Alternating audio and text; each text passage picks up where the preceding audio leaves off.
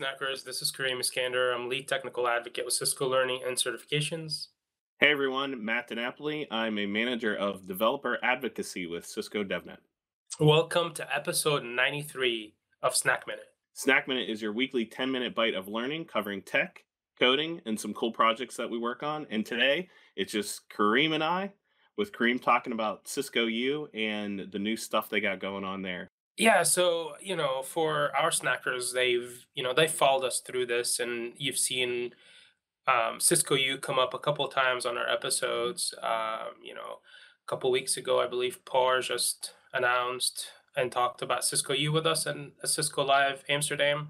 And what I wanted to do today is I wanted to give our snackers um, deeper dive into Cisco U. And one of the um, the initiatives and parts and content types that I am kind of in charge of um, from a Cisco U perspective is tutorials. I'm just going to assume folks by now know what Cisco U is, right? And if you don't, check out our playlist. There are a bunch of Cisco U episodes, and we'll let you you'll get kind of a, an idea of what it is.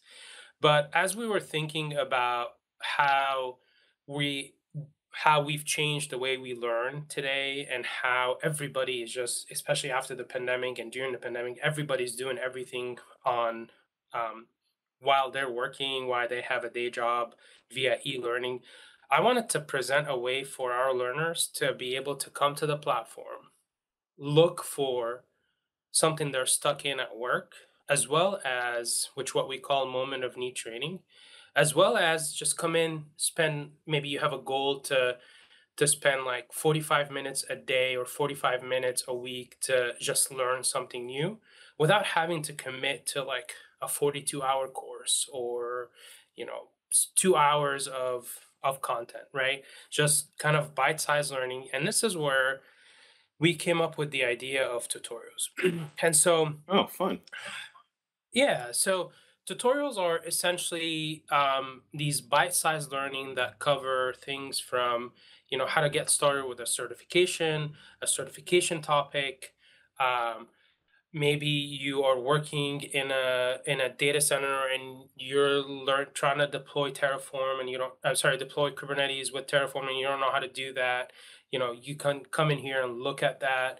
Uh, or maybe you just want to learn something new like hey how do i do a, a tee to save your output when you SSH, for instance. Something something easy, consumable. This is hilarious because the one that you're showing right now says what is root guard and how to enable it.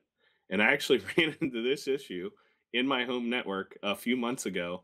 I don't know who did it, but someone had actually taken a cable and in my switch and routed it right back to itself and it was causing my network to crash every half hour and i could yep. not figure out what was going on and had i had root guard enabled i would have been totally fine even though that cabling was was incorrect yeah and then that's the i mean you're like right there touche and like this is you know if you you know if you're stuck you would go online to search essentially and eventually these searches that you're looking on google or whatever is going to populate our tutorials so you would get this is created by Hank uh, Preston, and he uh, it's Who? part of our CCNA blueprint. And so this is something that you need to know for your CCNA certification. However, just like you got stuck on how to do it, maybe you, you're you're not running XE at home. Maybe you're running Meraki, so maybe we need to run.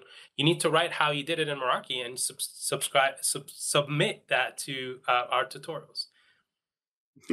um, so what's great about so this is another aspect of these tutorials.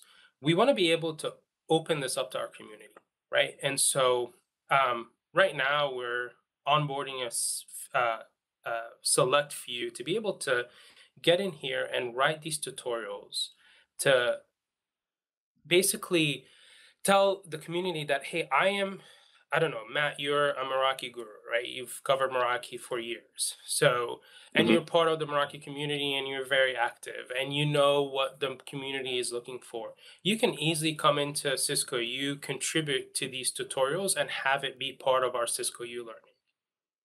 Oh, wow.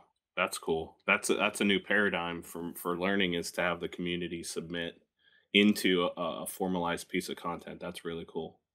So we're crowdsourcing that as well. So you have you have the content that our technical advocates build, our SMEs build. You have content that our internal SMEs within Cisco, and you know, including things like, uh, including folks like in the enterprise BU. You know, we all know Jeremy Cohoe, right? Jeremy is very Mhm. involved into this and building content around XE and YANG Suite, right? Um, we have folks outside of our community in AWS and in um, you know very active influencers and in the in the networking world that are looking to contribute to all this. So we want to be bring in all that content. We want to bring in all that learning in one place for you to be able to search it, consume it, and come in and learn. And you can see here it's pretty straightforward. You get in here and you, we'll tell you exactly what you'll learn and what you'll need in order for you to learn. Whether um, you have a local setup where you can leverage this, and if you don't, we we make sure that all of our tutorials are attached to some type of sandbox. In this case, Hank is leveraging the DevNet CML sandbox for this um, example. And then we're going to walk you through step by step on what you need to do in order to accomplish this, right? We're not going to leave you hanging. That's cool. So we're telling you here's what you do. This is the sandbox. Step one, do this. Next, we're going to explore how to do this. Here's how you access it. Here's the command that you need to do. And we have a little bit of explanation. So what we've done is we've gotten into the the the technical content right away. There was no introduction. There's a little bit of assumption there that that you know what a switch is, you know how to get into a switch, Mhm. you know some show commands, right? And so we're not here to like give you the entire course. If you want an entire course, we have an entire course that covers CCNA, and we'll point you to it at the end. So what you're saying is these tutorials are like little snacks of content. Ah, yes. Maybe we should have called see them what I did there? Did you get it? Yeah, I get it. I got it. Got it. You've gone full circle there. Um, and so this is kind of like the idea of tutorials. And you know, Hank goes into and this is a one of my favorite actually, um, one of my favorite tutorials that I've went through. But at the end, if you look here, all of our tutorials will have a call to action for you. So you're interested in this, clearly you are because you've done something with it. Whether you're coming here to learn something new and you want the extensive course, or you want here to finish with a certification, we'll point you to what you need. Um, or you could be just coming in here to learn something new. We'll get you to the next post where you can continue your education. And so there's a lot of work that's being done around this, um, these tutorials. Uh, I, I encourage all of our snackers to the who has access and who don't have access to go out there, uh, look at them, do them, provide us feedback, and ask us. We're also looking like we're hanging out. That our advocates are hanging out in the forums, looking for the most asked questions um, that we see in on the Cisco Learning Network, and we're trying to answer those questions via tutorials. So we're here for the community as well as if you are an expert and you're interested in building, let us know and we'll we'll make sure to onboard you onto this. um, this is really awesome, Kareem. Uh, Snackers on March 28th. Go ahead and check out uh, at Cisco U and and check out the tutorial tutorials first. It looks like it's the best way to kind of um, kick the tires on the platform and, and get a good feeling for for what content's out there. Kareem, thanks for sharing this with us. This is great. Yeah, I'd love to hear your feedback, Matt. Thanks, Snackers. Thanks for your time. All right, cheers.